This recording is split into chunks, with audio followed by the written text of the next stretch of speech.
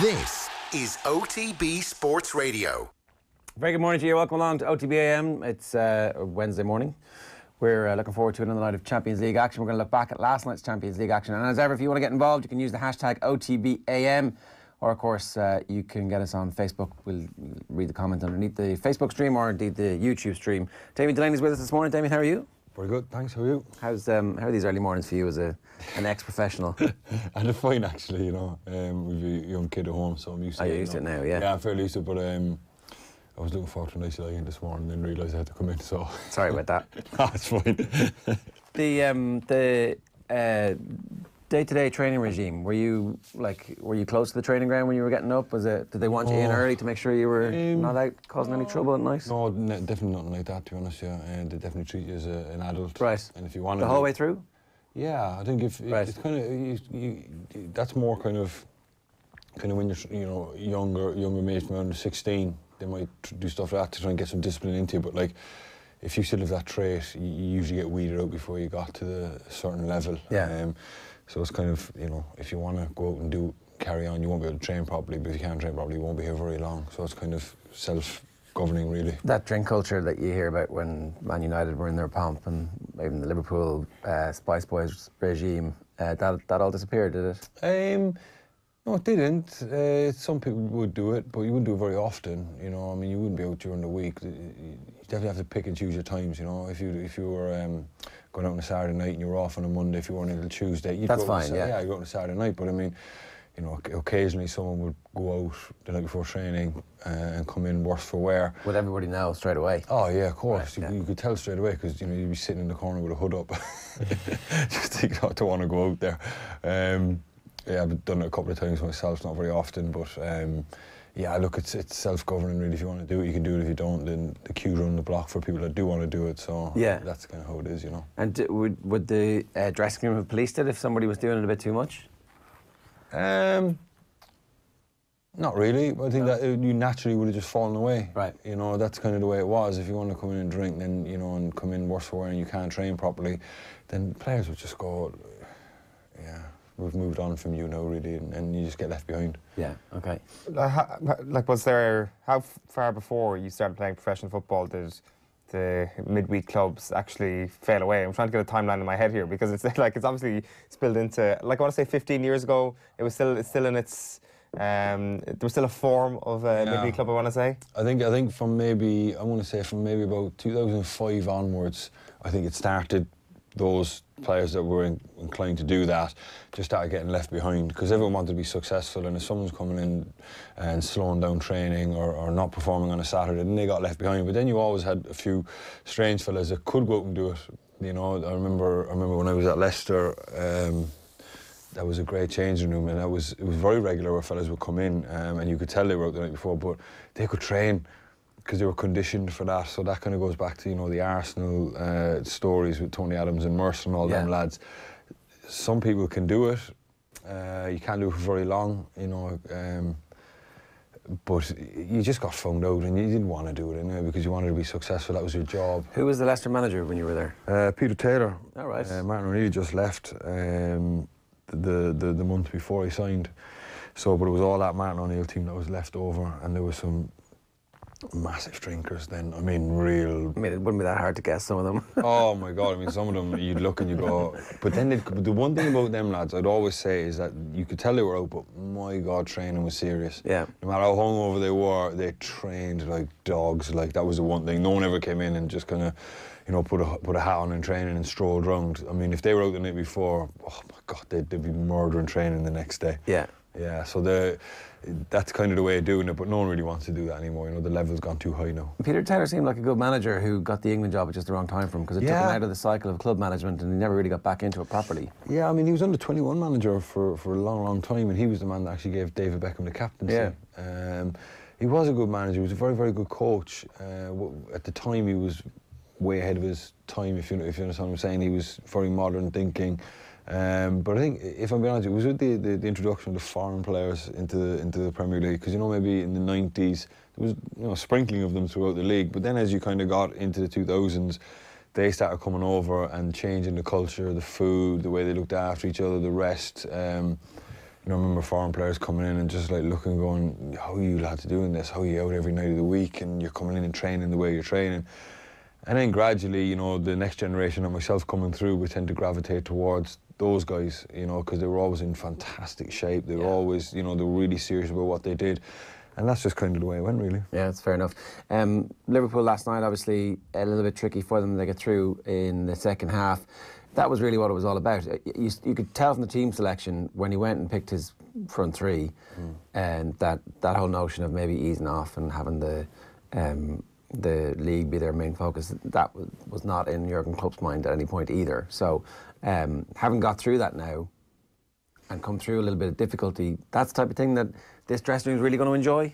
Um, yeah, listen, you know, you could tell with his team selection from Bournemouth that he wanted to finish top of his Champions League group. You know, I think when, when, when you talk about prioritising, you don't just say we're going to go for the Champions League, but you kind of take each each problem as, as they come or each hurdle as they come. And I think he had one eye on wanting to finish top of his group. I think he had to just to uh, give himself a potentially easier draw Yeah. in the in, in, in the in the knockout stages. So he definitely prioritised it that week, but you got to give him credit for the way he prepares his team. All 11 players, you know, uh, he, he brought in lads there that hadn't played, like Lallana and, and Origi. They hadn't started the game in, Yeah. in God knows how long, but didn't miss a step, did they? They were at it at Bournemouth and they ran right over the top of them. And then last night he just wanted to, you know, rubber stamp that. another off out to um, Qatar soon. So uh, I think he's just prioritising hurdles as they come. I think he's probably looking a week or two weeks in advance uh, and he's thinking, okay, maybe I can rotate a little bit here. Um, obviously, you know, with the Champions League knockout stages, he won't be rotating. That'll be, you know, he'll be getting his team ready. But with a 14 point lead, and I know I was going to say they're not 14, they're you know, eight ahead of Leicester, but essentially they're 14 points clear of City, their main challenger. You know, when you get the Champions League, he now knows that the likes of Lallana, uh, Origi, Shaqiri, these guys, you know, Chamberlain, can come in and they won't miss a step. And that's a credit to him and his. Uh, his sports science team really that you can have guys that haven't played football for so long and come in and, and be right at the at the level that they're supposed to be at. Are they still getting better? Uh, no, I don't think they're going to get better. I think the only thing going to get better is if they sign players in January. I think that's going to be crucial for Liverpool. You know, how serious are they going to take going for a Champions League, Premier League double? Uh, I know Pep Guardiola's come out and said that they're not going to strengthen in January. So Man City aren't getting better in January. Uh, the only thing Liverpool have to worry about now is an injury.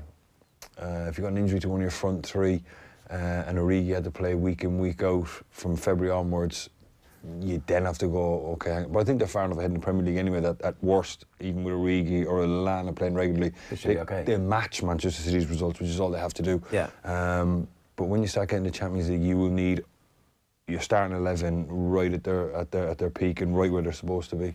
They're talking about Jadon Sancho as somebody that Liverpool are in for because he wasn't happy and then he scored a goal in every game for the last five or six games. And it's like, hmm, maybe that's going to change his mind about staying. Maybe it won't. Maybe he is available. Um, but he's a kid. Like, would, is he. I, thi- I think it'd be a perfect signing for Liverpool. Right. I think it would be absolutely perfect. I always have a little worry in my head that they've had so much mileage out of their front three. I mean, for three seasons now, them guys have been really at it. You'd have to think at some point one of them's going to. I know they're saying Salah's form is hit or miss, but he's still playing really, really well. But you'd have to think at some point one of them is going to get injured. I mean, you watched Mane last night. He was like a man possessed again. He was brilliant. Uh, and if someone like him got injured, you don't want to be going to an Origi week in, week out. You want to kind of have a Jadon Sancho coming in, a guy who has played at, at that level for Dortmund. Uh, obviously, he's a very, very talented player. And on top of that, uh, Klopp and his staff will definitely be talking the future. You know, uh, if we win the league, how do we kind of reinvigorate the squad? How do we, you know, do win the back-to-back Premier Leagues. I know that's really far down the line. They would never ever publicly talk about that. No, but that's- But there'll definitely be discussions, you know, in private rooms saying, listen, if we win the Premier League now, you know, if this guy is available, will he be available in the summer? If, you know, we need to strengthen and we need to like reinvigorate the squad with signings, and I think it'd be ideal. Yeah, it looks like Klopp is there for the long term because what happened at Dortmund was that he got tired of trying to continuously beat the massive superpower. At Liverpool, he will have enough resources to continually go against Manchester City, and uh, it seems anyway uh, that like once you knock them off once, I don't know what's going to happen there. Well, you look at Man City right now. I think they're struggling massively from. Um, uh, they just seem to have gone a little bit stale, you know. And I think Pep Guardiola in the summer. I know they signed Rodri, uh, but you look at the back four they've been left with. You know, they lost Kompany. Angelino's playing way too regularly, really, for someone that they kind of bought back because they had a, a buyback clause and Yeah. they thought, well, it's only 20 million quid, get back, and he's a left back. But ideally, he didn't want him, you know, he wanted to go and sign, you know, the world's best left back. So, um, I think Man City are struggling from that for a little bit. He didn't reinvigorate the squad with, with the big name signing and the guy that could come and hit the ground running. I think Klopp will definitely be looking. No, I know that probably Man City, that's probably something to do with their financial fair play restrictions because I know they were under pressure with that anyway.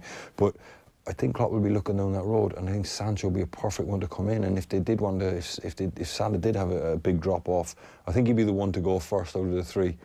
Uh, if I was going to say anyone, um, you know, and, and also on top of that, Sancho coming in would reinvigorate the front three. Yeah.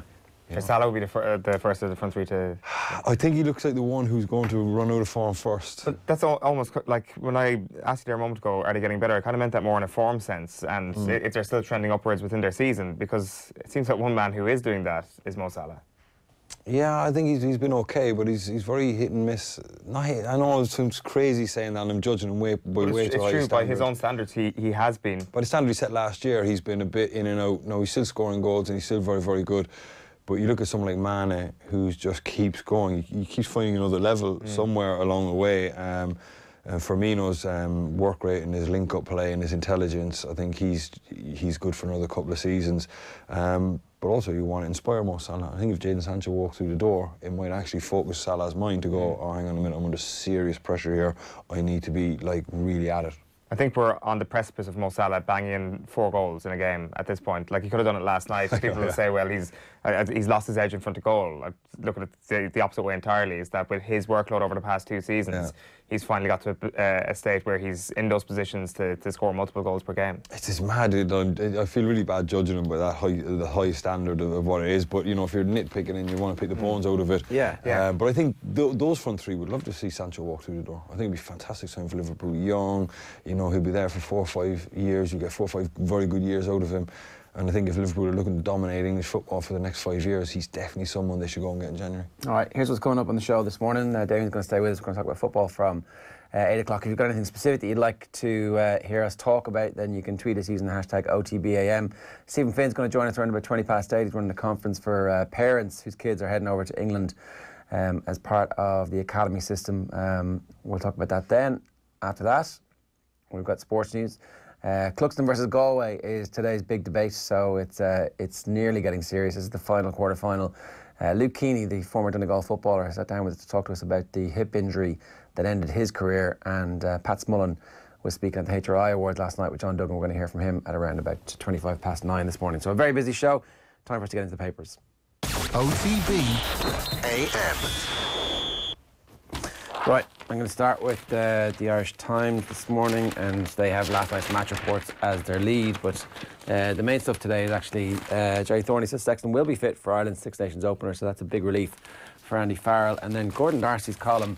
The headline is uh, Tension between coach and captain can be essential dynamic for success. And he says he was in changing rooms where Paul O'Connell would hold Joe Schmidt to account, and uh, Schmidt wouldn't back down, O'Connell wouldn't back down. The two of them would have this kind of Barney, and everybody's looking at the floor going, geez, at some point the parents are going to stop fighting.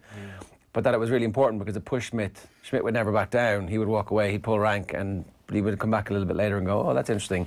And he says that was missing from uh, the World Cup dynamic over the last year. That's one of the reasons why uh, the situation failed. But he also has this uh, very strong go at um, the process by which the IRFU have been reviewing what happened at the World Cup.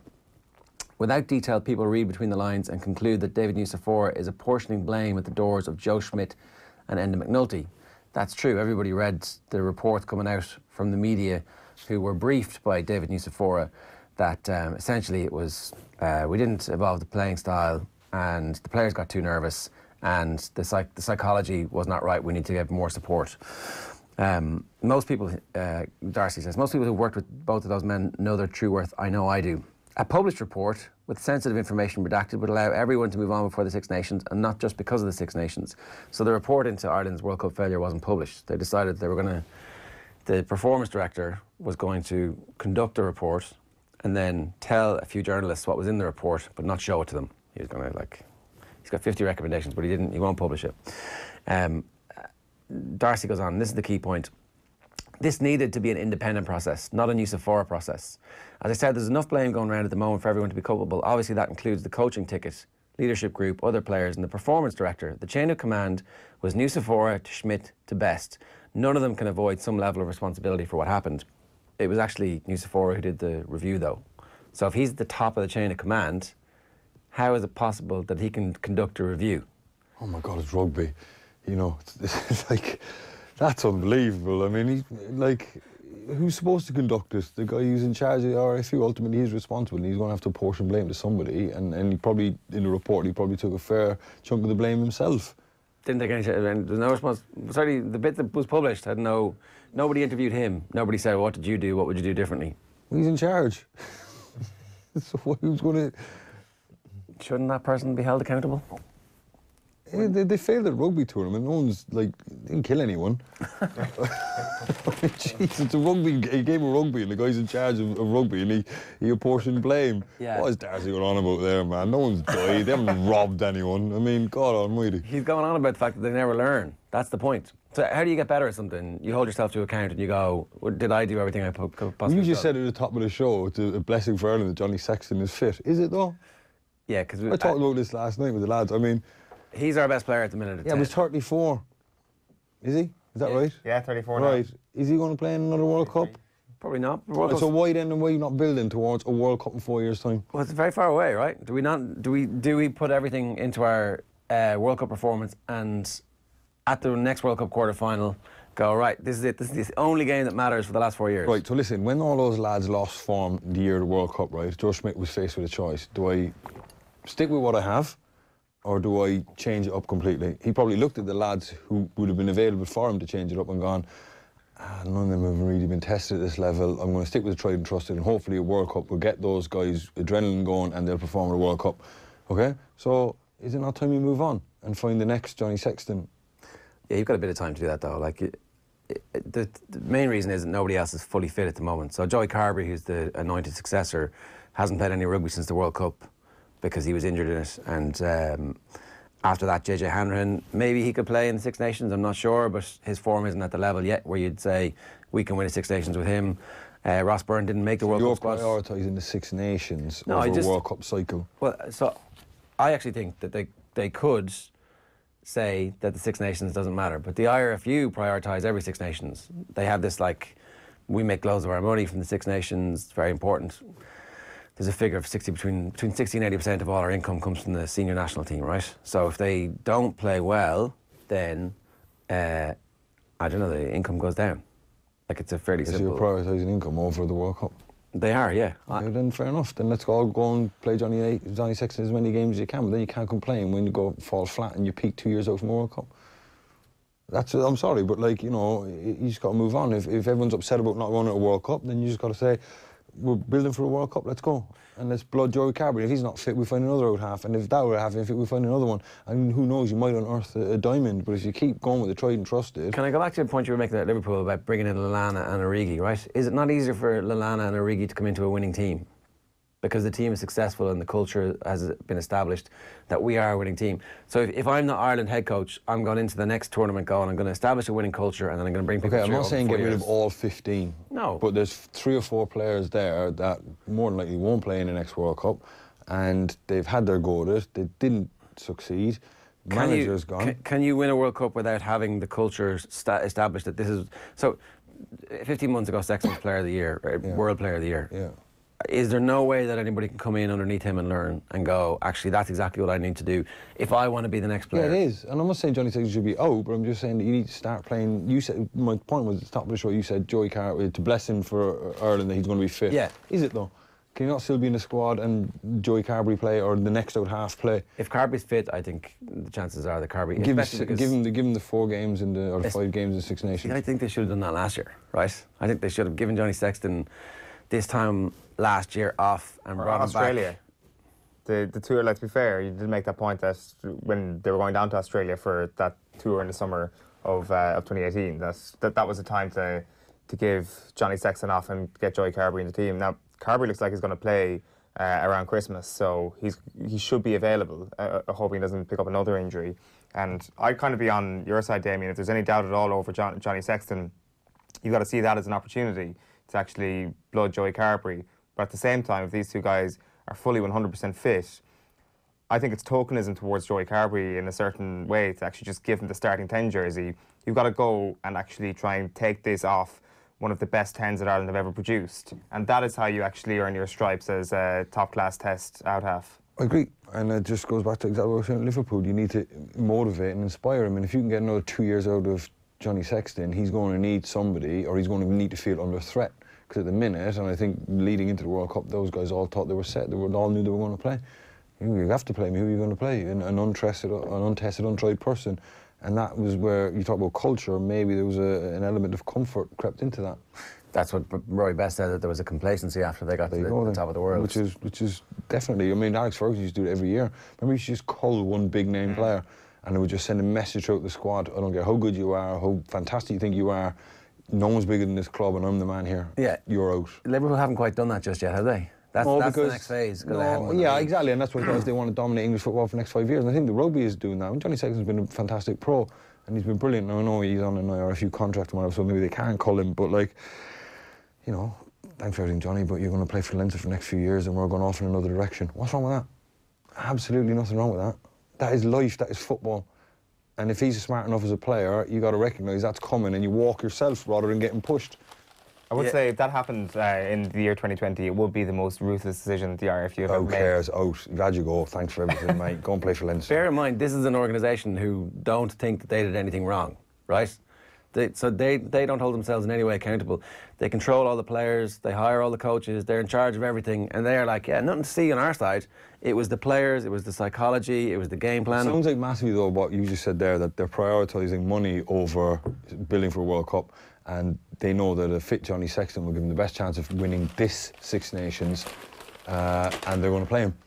Um, I, I- I, guess my point is that I'm not really sure that they're they're an organisation who have a mirror up to themselves, going, "What can we do to get better?" And um, if that if you don't have clarity in your decision making, at- from the very what we're trying to do is this, this, and this, then you make bad decisions. As, But, as an uh, in fairness, I'll give that guy the, Nu- Nucifora, is that? Yeah. Nucifora. I'll give him the benefit of the doubt. Maybe you know he has uh, looked at it and gone, okay, we need to go in another direction here. Maybe they will. He was asked, "Did anybody interview you?" And he's like, "Oh no, no, that was a good, no, might be a good idea." In the press conference, where he wouldn't tell everybody what was in his report. So, my point is, we don't even know what they think. They get a lot of public money. They should be telling us what they think. They they they hold rugby in trust. They should be telling us what they think. Th- This is our national team. I can't agree with you there. All right. um, Darcy, to finish on this one, no one's disputing this became an unhappy camp. Winning di- dictates mood, but the IRFU, IRFU review should provide a deep, cathartic study into how a team goes from performing at the highest level to the collapse against Japan in Shizuoka. This can't be achieved without external expertise. Nucifora's presentation last week should not be acceptable to the rugby paying public. The lack of detail means Andy Farrell must turn the page.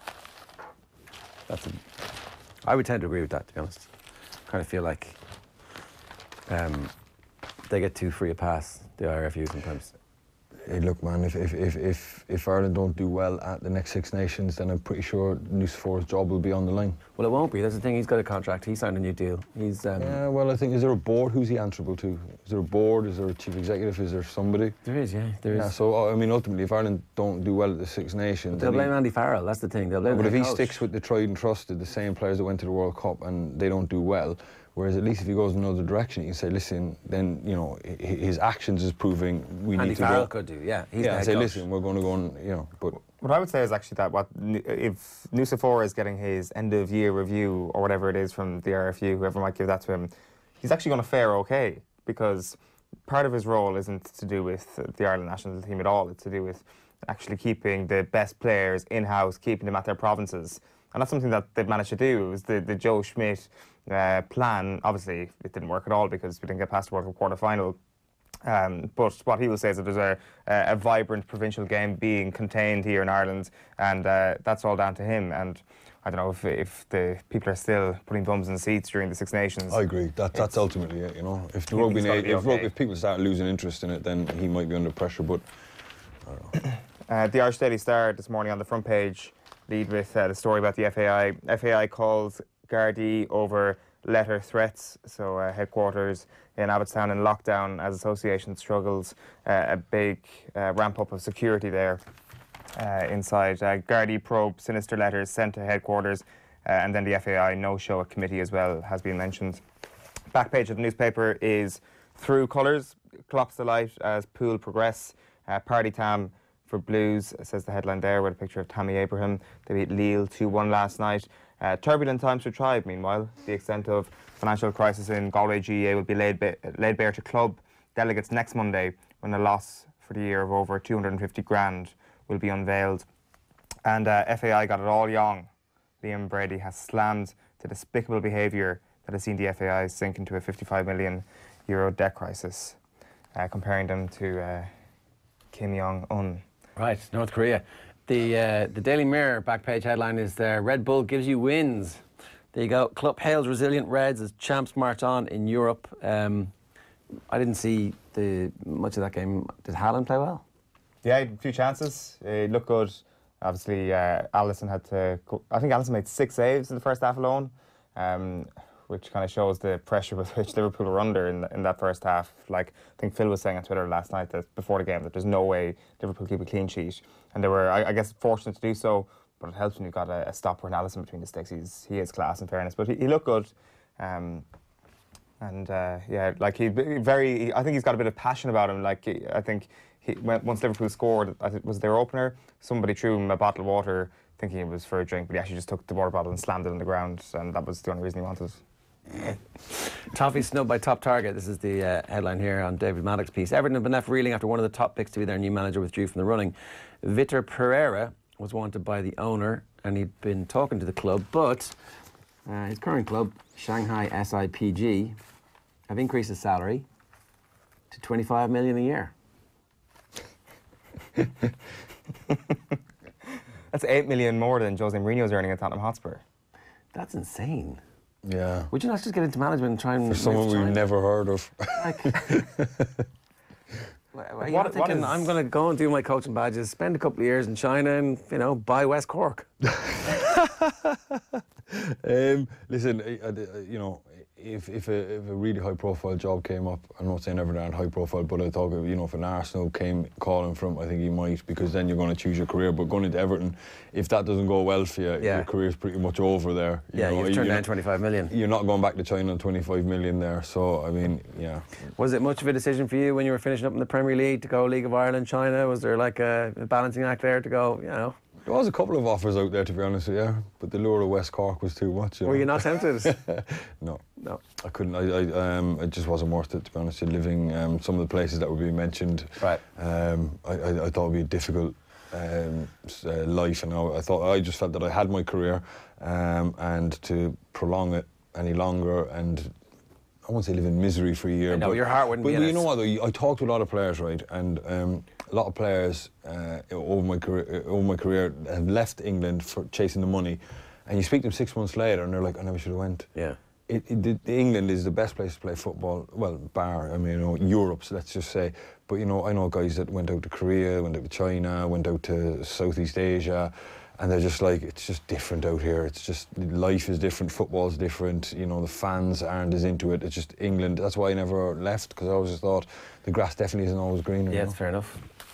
The London, the London Times this morning leads with Liverpool Salah special seals English clean sweep for Premier League sides into Europe's last 16. Uh, McIlroy makes Saudi stand. Meanwhile, Rory McIlroy wading into the sports washing debate by admitting that morality was part of the reason behind his decision to skip next month's Saudi uh, international.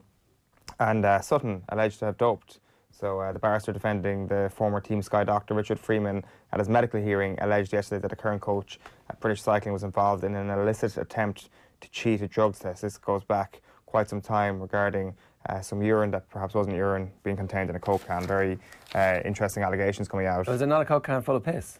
Yeah, exactly. Yeah. Um, the- the- sorry, yeah. That's what it was, That, yeah. that was So yeah, did- that, it sorry, was- that's exactly what it was. They were sorry, what I have say in was a Coke can that may or may not have been Coke. Right, It was uh, 100% uh, urine. That's the that's the allegation anyway. Uh, who that's from Mary O'Rourke, who's representing Freeman at uh, the General Medical Council. It's like a soap opera at this stage. How did The, he get the, the urine from the can into the. Into the thing in front of I Yeah, don't with how someone like, you know. With, you like just spilling it down this thing, running? I, good, I mean, uh, interesting in how we got away with that. The practicalities of it are fascinating. Yeah. and did he actually get away with it? Is the thing. Uh, the Irish Sun, their back page headline is Mo offence. Fab Salah goal gets Jurgen's approval, and then guns potty for Lottie. So Ancelotti is now suddenly available. Our managers Arsenal will talk with Carlo Ancelotti after he was axed by Napoli late last night. 4 0 win against Genk. You had that great stat. Oh yeah, uh, Richard Jolly on Twitter said that uh, Carlo Ancelotti is now being sacked twice after winning a game by four goals. He was sacked as Real Madrid manager after they beat Getafe 7-3 one time as well. They beat Genk 4-0 last night. That is, that's an astonishing stat. Yeah, but I think that his problems go to the off the field stuff. There was a massive story about um, did the owner want to take the players away on a mid season break? The players didn't want to go, and they just kind of mutinied. And Ancelotti sided with the players, Right. which was absolutely fantastic. And obviously that upset the owner massively, and I think he wasn't right there for weeks. So is he a good potential manager for Arsenal? Thank God you'd ask, because if you said Everton there, I'd have thinking uh, Everton, po- uh, Arsenal possibly, yeah. Everton absolutely no chance. Back page, I th- like, is, it, is that the sort of fix they need right now, Arsenal? The sort of get somebody in who knows how to solidify defence and just hold on, concede as little goals as possible, and then reevaluate things in, in the summer. Like it doesn't, he doesn't seem like a stopgap sort of guy. You'd, you'd be giving him a three-year contract. Yeah, I mean, listen, maybe the lure of London is uh, it would be too much for him. Um, the Premier League as well. Uh, I think it'd be a fantastic appointment for Arsenal, not just on the short term. I think you should give it to him and let him kind of steady the ship there for a couple of years. Uh, back page of the Irish Daily Mail is scandalous. Liam Brady's comments again. Delaney should have got the axe years ago, he said. Uh, picture there of Tammy Abraham, reigning champ. Tammy lands vital blow, put Blues in knockout stages. And new era dawns for Offaly under Duignan. Michael Duignan has been elected as chairperson of the Offaly County Board. So uh, he beat the outgoing chairman, Tommy Byrne, who's seeking a fourth term by 76 votes to 62. I was very interested in how that was going to turn out last night. I wasn't sure whether or not he would get it. It's always very hard to beat an outgoing chairman, but you just have to say fair play to the guy because himself and we've had obviously Daithí Regan on the show quite a bit.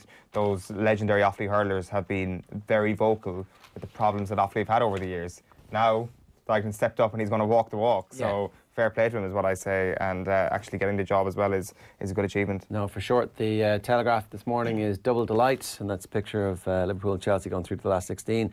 After Salah's amazing goal seals victory at Salzburg, and uh, Tammy Abraham strikes in nervy win over Lille. Um, Christian Pulisic playing all right at the minute, isn't he? Yeah, I'm really pleased with Chelsea. Really, really pleased with them. Um, pleased with Lampard as well. I think he's done an absolutely fantastic job uh, to get them, uh, you know, into knockout stages and doing so well in the Premier League. And now he can sign some players too. The back page of the Telegraph has an interesting column and an interesting story about uh, Liam Polwart, who's a 24 year old New Zealander who is retiring from rugby because of um, multiple concussions. Um, so it's been a difficult decision to leave the game I love, he says. Uh, a short but prosperous career. And um, I think you're probably going to see a bit more of this. Was concussion starting to become an issue in dressing rooms? Were people talking about it? Um, No, not at all. No. absolutely not. To be honest, with you. Um, you usually get tested. You know those baseline Yeah. tests they give you, so you're starting to get that. But no, not not, not essentially. To be honest, with you. Alan Shearer made that documentary a couple of years ago about all the former footballers who ended up with um, a higher rate of Alzheimer's and general mental difficulties um, later in life. And the cause and effect of heading the football and the old footballs was something that people Yeah. were drawing a conclusion from. Um, is that something you would have concerns about? Um, not particularly. Uh, I, I would have headed an awful lot of footballs in my time. Um, I hope it's not, uh, but I, I think the footballs are light enough. Um, there's a few times, all right, where you know you'd get hit in the head with a ball, or you know if you're kind of trying to block a shot and Yeah. hit you clean in the head, it would rattle you for a little bit. Um, a few times, I suppose, I've been concussed, I suppose, but you know.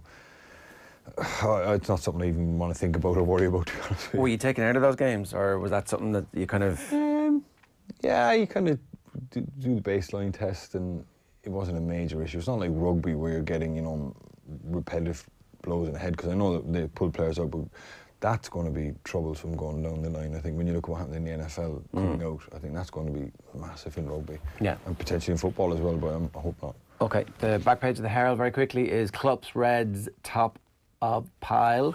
Uh, Jordan Henderson's hand in the way of the pile there. A new Dubs boss will be revealed tomorrow. Conor McKeown thinks that the new Dublin senior football manager may be revealed at tomorrow's annual convention as had been intended. So there's a picture of Dessie Farrell there, uh, which I guess means that, yeah, it remains the favourite. Although speculation last week linked both Tommy Conroy and Declan Darcy to the job, while there were also reports that Gilroy had been given first refusal. What's your information on that?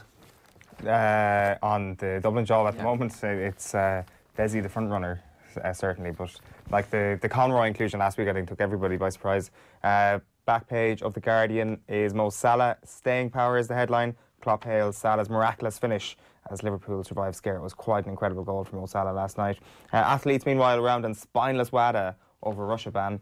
This is a highly respected British member of WADA questioning her future. This is uh, Victoria Aggar, a retired Paralympian.